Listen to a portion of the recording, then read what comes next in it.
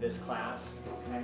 And so if the nation is imagined, and even a map, something as concrete as a map, is... Jared Orsi has really stuck out to me as um, someone who, who really invests in the students um, professionally and personally.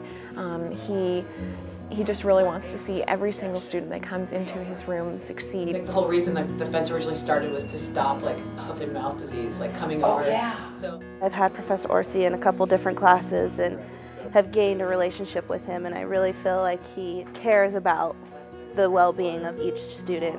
You're in a university with 26,000 other kids and you kind of feel lost. I mean, as a freshman, I, I felt lost and having somebody care about you the way he does, it's very meaningful. It puts you on the map and makes you feel like you have a place within the university. You, the odds that you actually get what you want go down because of He's really good about letting you know he has really high expectations for you and at the same time letting you know that you are completely capable of meeting them.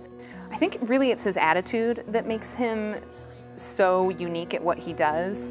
He really works hard to let the students know that they're the, they're the ones that matter.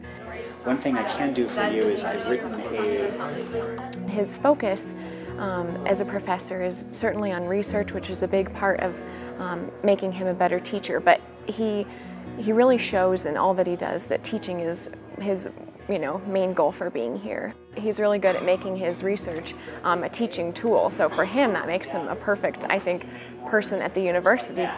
Again, they're trying to say this is really an imaginary line, and the most I think Dr. Orsi deserves the Best Teacher Award because he is really committed to his students. He is he walks into that classroom every single day and thinks about how can I help these students today. There are probably countless people who didn't nominate him who would agree with me in saying that Dr. Orsi is very highly worthy of this Best Teacher Award.